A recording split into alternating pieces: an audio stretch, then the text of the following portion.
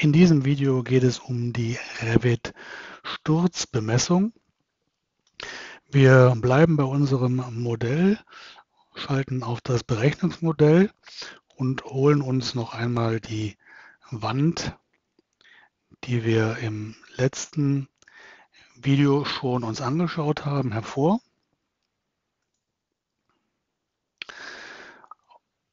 Und zwar führen Öffnungen in Wänden eben oftmals zu diesen kurzen Wänden, die man gerne als Stütze bemessen möchte.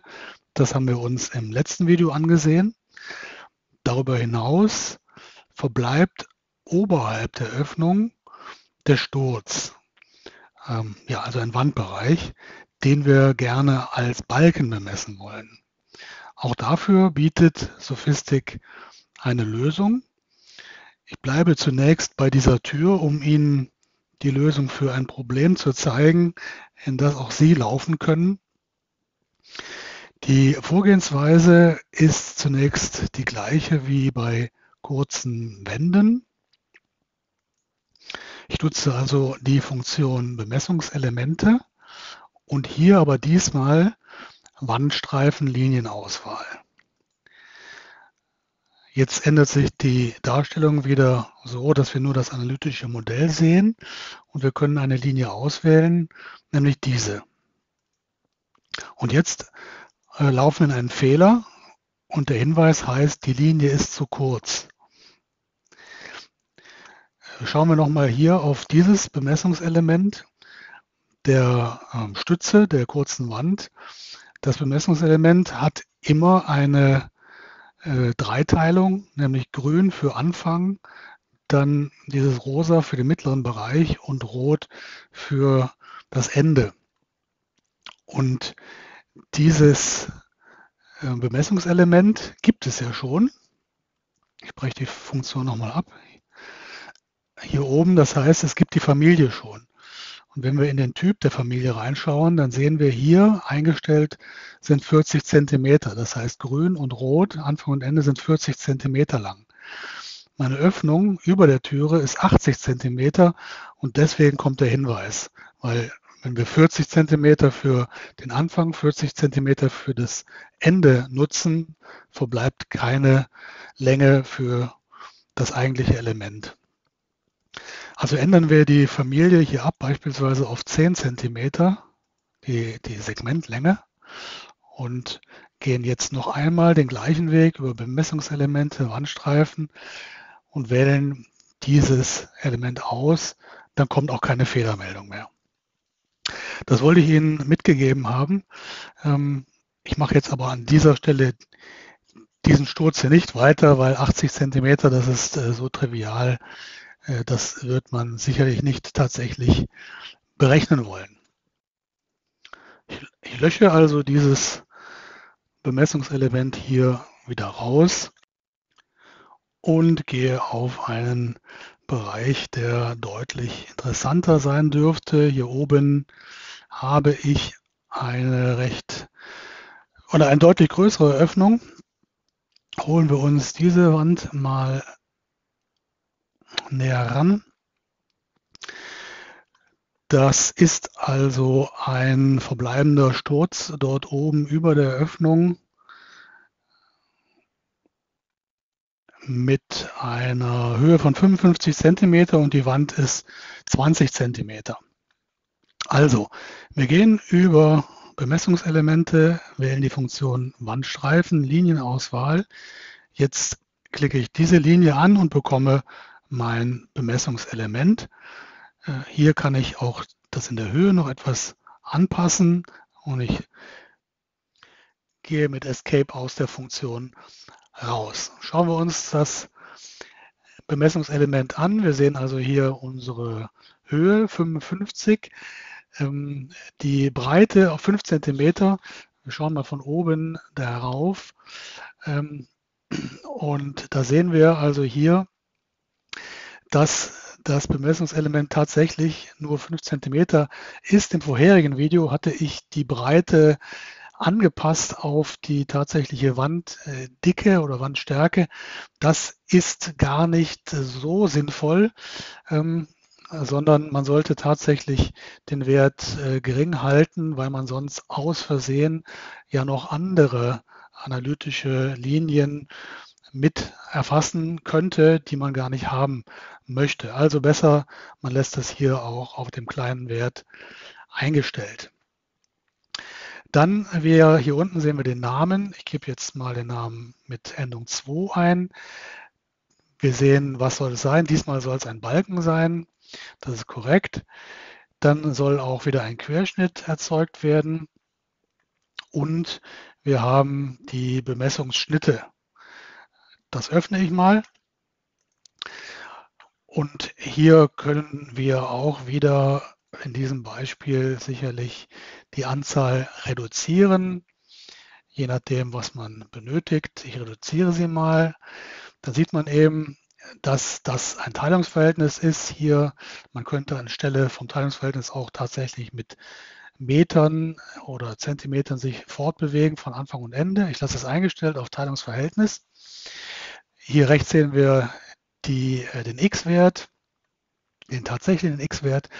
Und dann haben wir hier die Möglichkeit für y, y und z, z äh, festzulegen, ob es sich um Standardschnitt, Schubschnitt, eingespannt, gelenkig oder indirekt handelt. Zunächst mal Typ YY, Typ XX. Was bedeutet das? YY, das ist das äh, Moment um die Y-Achse. Wenn ich das hier mal bestätige und nochmal hier hinschaue, sehen wir bei unserem Bemessungselement diese Linie. Das ist die Z-Achse. Das heißt, wenn die Z-Achse nach unten geht und die X-Achse in Richtung des Elements, also Längsachse, dann schaut uns die Y-Achse an. Damit ist also YY das Moment, das Hauptmoment hier um die Y-Achse. Während Z eben das Moment um die schwache Achse wäre. Sollte in Ihrem Fall die Z-Achse hier nicht nach unten zeigen, sondern nach oben, das kann durchaus passieren, haben Sie die Möglichkeit hier über ähm, Flip Coordinate System ein Häkchen zu setzen und dann ja, sehen wir, springt die Z-Achse in die andere Richtung. Also zurück hier hinein. Das ist also unser Haupt, äh, unsere Hauptrichtung, YY. Und nun muss man sich im Klaren sein, wenn man hier beispielsweise sagt, okay, am Anfang habe ich eine Einspannung oder am Anfang habe ich gelenkig oder indirekt gelagert, dann hat das überhaupt keinen äh, tatsächlichen Einfluss auf die Schnittgrößen. Die Schnittgrößen sind ja schon vorhanden aus der FEM-Bemessung, äh, Berechnung. Hier geht es also ausschließlich um die äh, Bemessung, sprich um die Ausrundung, Ausrundung, um Abminderung über der Stütze. Wenn wir also Gelenke hier einstellen, hätten wir eine parabelförmige Ausrundung. Oder entsprechend bei eingespannt oder indirekt hätten wir horizontal oder eventuell eine schräge ähm, Abminderung oder Ausrundung. Nur darum geht es hier. Ich lasse das so eingestellt und bestätige. Schauen wir jetzt in die Querschnitte. Da taucht jetzt also dieser Wallstrip als Balken auf mit 20 auf 55. Bisschen aufziehen. Und dann kann ich mir den Querschnitt anschauen. Äh, wir können hier Torsionen entsprechend berücksichtigen lassen und so weiter. Äh, hier können wir einstellen, ob der Querschnitt asymmetrisch, also für hauptsächlich MY bemessen werden soll oder MZ. MY ist sicherlich sinnvoll. Wir können eine Mindestschubbewehrung einstellen pro Fläche oder hier auch pro Länge. Da könnte man zum Beispiel ähm, einen Wert reinschreiben. Ich denke 5, äh, 5,03 müsste sein, Durchmesser 8, alle 20, zweischnittig. Ähm, dann geht es hier um die untere Bewährung. Da sehen wir schon Durchmesser 20, zwei Stück. Kann man natürlich ändern, wenn man möchte. Wenn ich auf 2 Durchmesser 14 gehe, sehen wir hier 3,08. Dann oben, da sind jetzt beispielsweise äh, zwei Durchmesser 10 angeordnet, das ist 1,58 und hier seitlich haben wir auch nochmal zwei Durchmesser 10 angeordnet. Auch das bestätige ich und gehe jetzt wieder in das Gesamt, in die Gesamtansicht des analytischen Systems und lasse das System rechnen. Okay, gehe jetzt wieder in den SSD.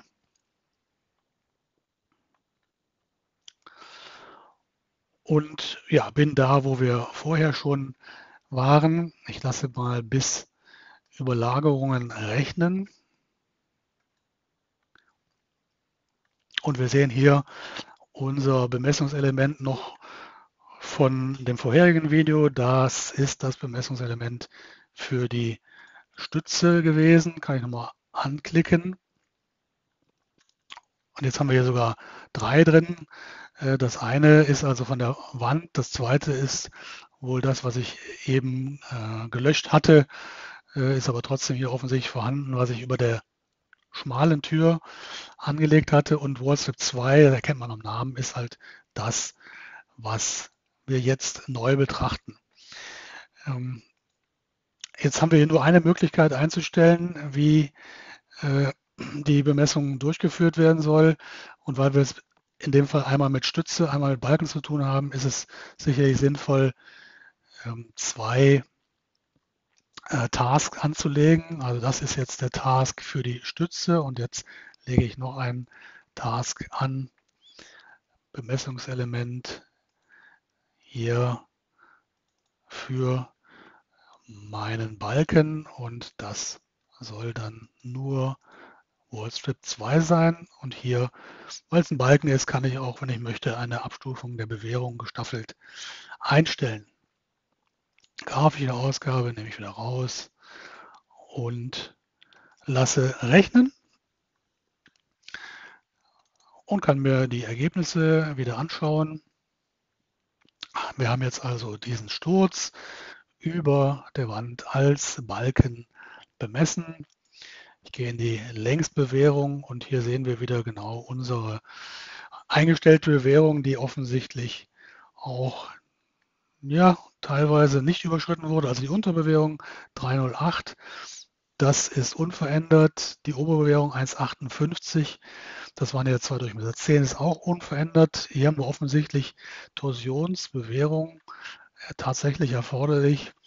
2,06 Quadratzentimeter, das ist dieser mittlere Rang, also auf der Mitte des Querschnitts die angeordnete Bewährung. Ja, und dann sehen wir hier auch Torsions- und Schubbewährung ähm, scheint zu passen.